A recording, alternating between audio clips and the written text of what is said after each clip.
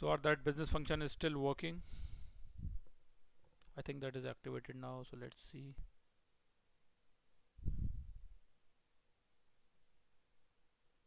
Okay so now it says business function will be activated. I don't know why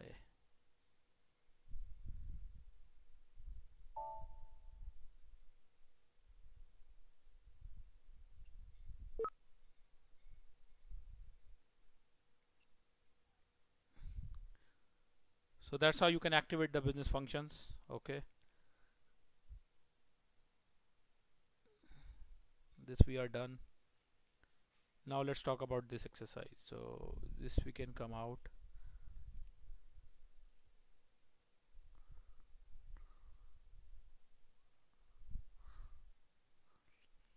So after the completing this exercise, you will be able to activate and configure the new GL accounting, understand what is new GL, know how to create and derive segment and differentiate between entry view and the GL view of financial accounting documents. So let's see how this works.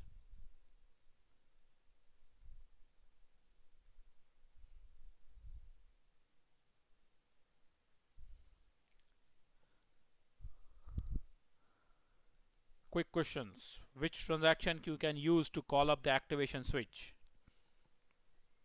So that activation switch can through FAGL underscore activation. And FAGL stands for Financial Accounting General Ledger.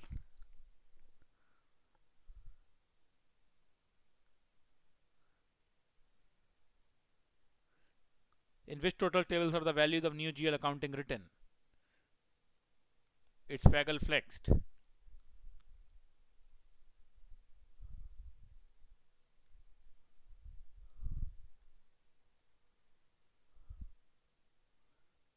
Sorry.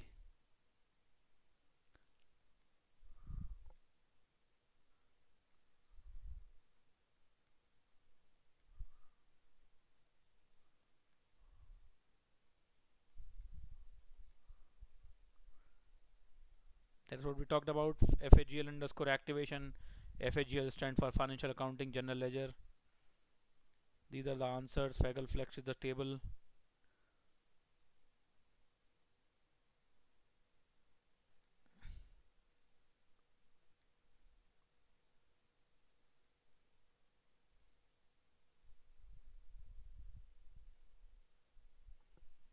okay.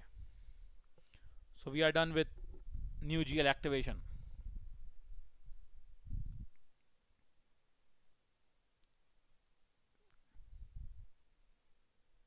Next is document splitting.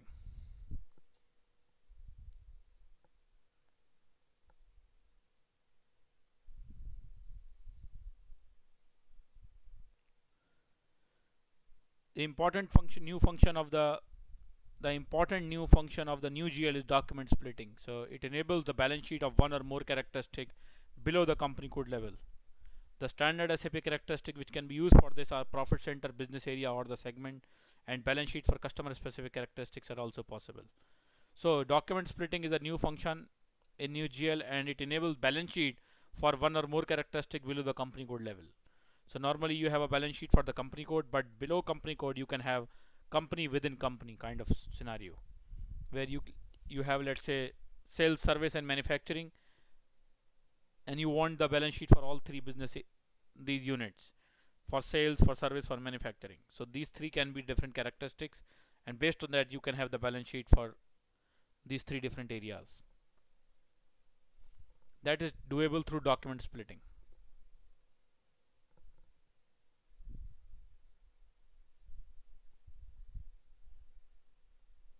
The system enables you to define, configure how to extract your characteristics balance sheet should be. The most exact option is complete balance sheet for one characteristics or for several characteristics. Complete balance sheet means system will does not permit FI posting that are not cleared at the characteristic level. So the best option is you go with complete characteristic where SAP will not allow any financial posting if that characteristic is missing. Means because you have make it mandatory so every user has to mandatorily enter the characteristics before the accounting document is processed. In this way, document splitting provides you with the opportunity to improve, improve your FI data compared to classic GL. So you can have more flexible reporting, more drill down reporting, more easy reporting for this purpose. Document splitting offers optimum support in system for internationally increasingly important of segment reporting. So as segment reporting is one of the IFRS requirement, so if you keep segment as one of your characteristic for internal balance sheet and financial statement, then it meets the requirement of IFRS also. So at the same time, you are achieving two things. You are meeting compliance of IFRS and also you are achieving the internal uh, financial uh, statement for any particular characteristics. Possible negative aspects of document splitting are relatively complex system configuration required and change to process flows that might be required in certain cases. So it is complex configuration and there might be changes required to existing process flows and in some cases it might be really complex. So it is one of the complex area to activate document splitting because it impacts your all the transactions across the system wherever the financial accounting document comes.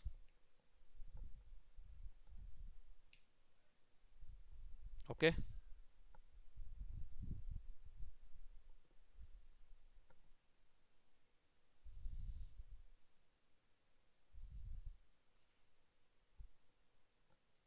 So after completing this unit, you will be able to explain the motivation and theory behind document splitting, understand the basic customizing of document splitting and enter the ex explain examples posting of document splitting. So this is what we are targeting with this unit.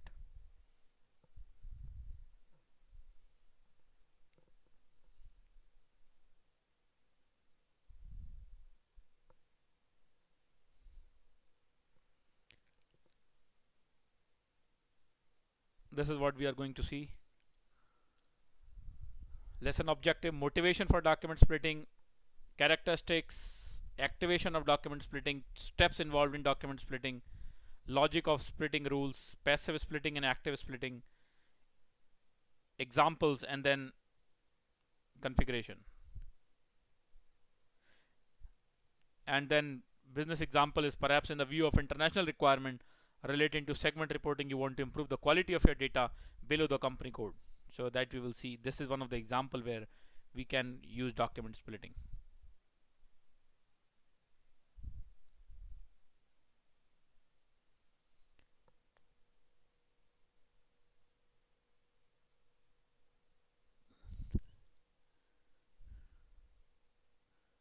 In the standard system, new GL accounting offers the following for the characteristic analysis under the company code, such as segment reporting.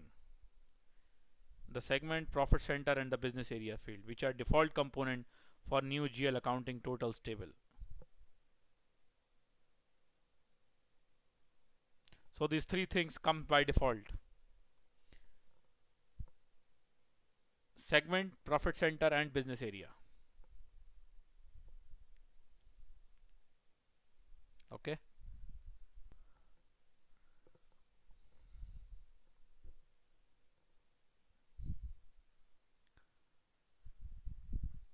FI drill down report based on total stable FAGLFLEXT. Now let's come to motivation of document splitting.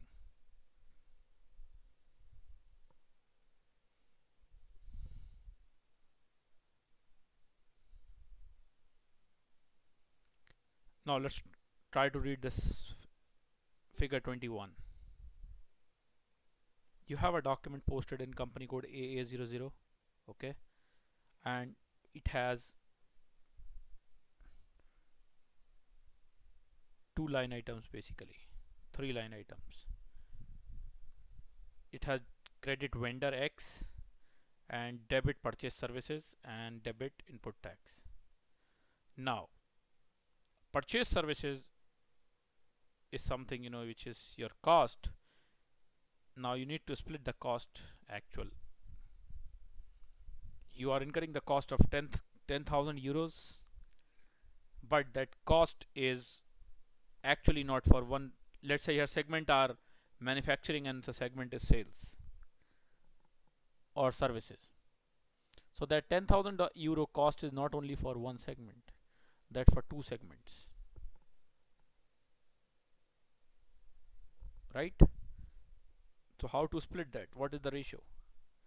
So the moment you enter the cost center in cost account in the cost element 417000 it will call the profit center and then the profit center will call the segment and based on cost center it will identify okay 4000 is segment A and 6000 is segment B. When in your segment the right value will flow. If it everything flows to segment A then the reporting is wrong right? You are not reporting neither seg segment A is correct nor segment B is correct. Because in segment A you are showing more your segment B you are showing showing less. At company code level it is fine. It is absolutely fine. You are have a cost of $10,000 at a company code 1 AA00 everything is okay you have a cost of $1000 $10,000 but within your internal reporting that is getting wrong. So with this document splitting 4000 is getting to segment A 6000 is getting to segment B. So your the segments are receiving the right value. So that's document splitting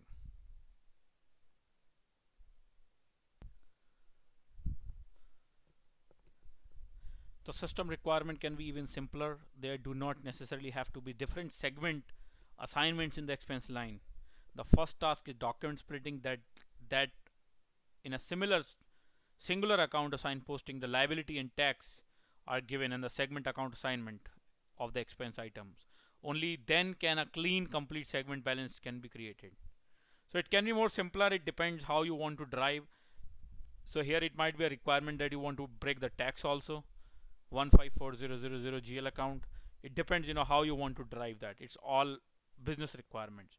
So this is just one of the example that how you can achieve document splitting.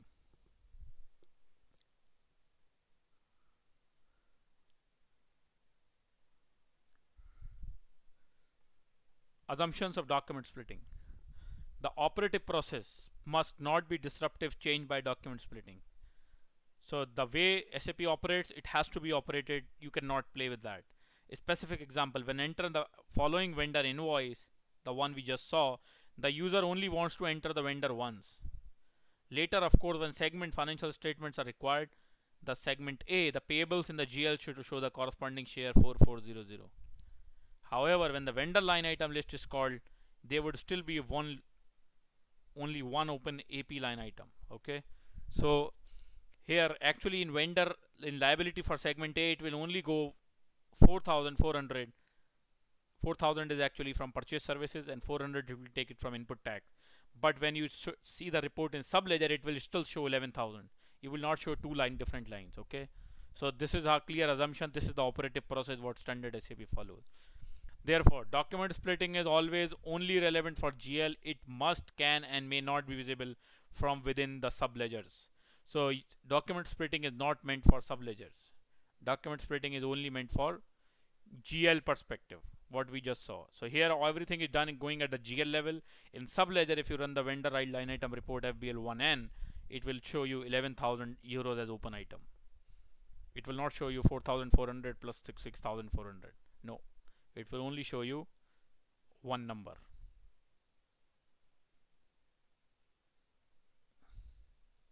Okay. Now let's talk about active and passive document splitting. You can divide document splitting into three simplified steps. Passive splitting. During clearing during the payment for example the account assignment of the line items to be cleared are transferred into clearing items.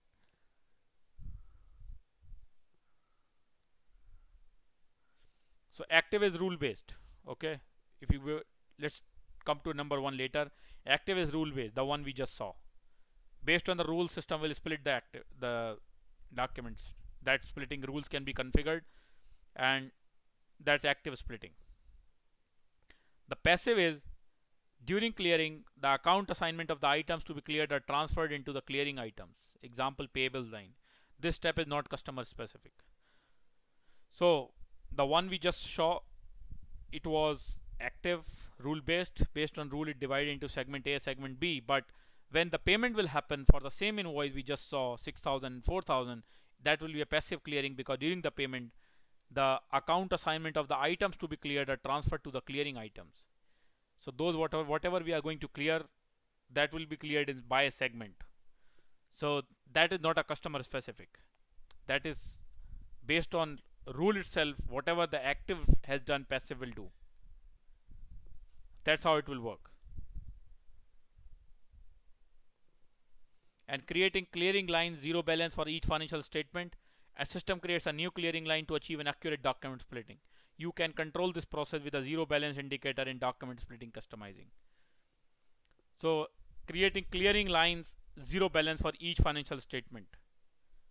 Characteristics. So for every line SAP creates a zero balance line to balance the GL account and you can control this process with zero balance indicator in document splitting customizing.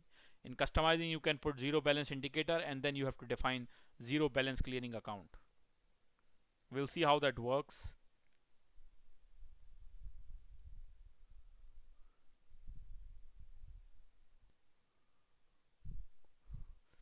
In clearing situation, the result of the passive document splitting is that relationship of the account assignment in the clearing document is identical to the relationship in the reference document.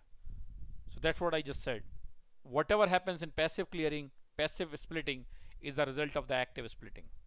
So it will take reference from the active one, the actual invoice, it will clear in the same way in while it will, it is using the passive document splitting as it does in the active one. The logic behind the splitting rule of the active is explained in the following pages and figures. So it will come. Clearing lines are always formed when values have to be reposted between different account assignment. For example, transfer posting from profit center A to B. The clearing line ensures that only the document itself is cleared but also the additional dimension are also cleared. So this clearing ensures that it's not only the actual document is cleared but all the segment and all characteristics like segment, business area or profit center are also cleared. The objective is not just to clear the GL account. Objective is when you run the report either for GL or for segment or for profit center, it should be consistent. Between process step 2 and 3, document splitting is supported by two things, inheritance and default account assignment. The system always processes document splitting as shown below.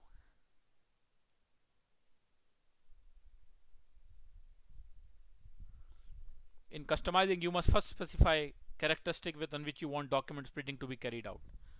So this is how you define that on which area, which units the document splitting needs to be carried out. Business area, profit center segment. And then you can add user defined characteristics at the bottom.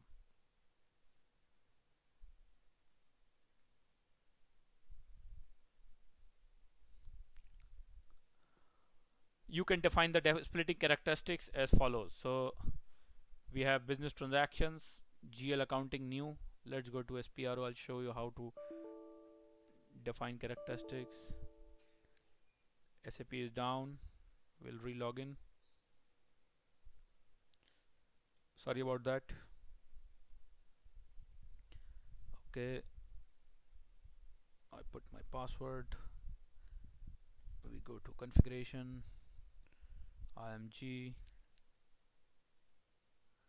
then we go to GL account business transactions financial accounting new GL accounting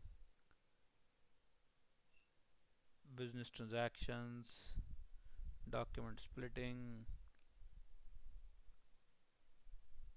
and then we have defined document splitting characteristics. This is where we were focusing upon. So you see here we have business area, profit center and segment. If you want to add more, we can add more. We still have options. You see, lot of options are there. So what we need to do is we need to select, we need to copy, we need to change. Let's say I want user field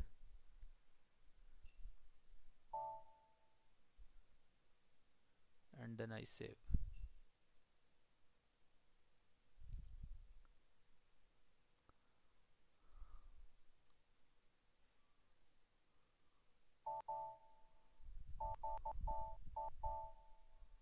Okay?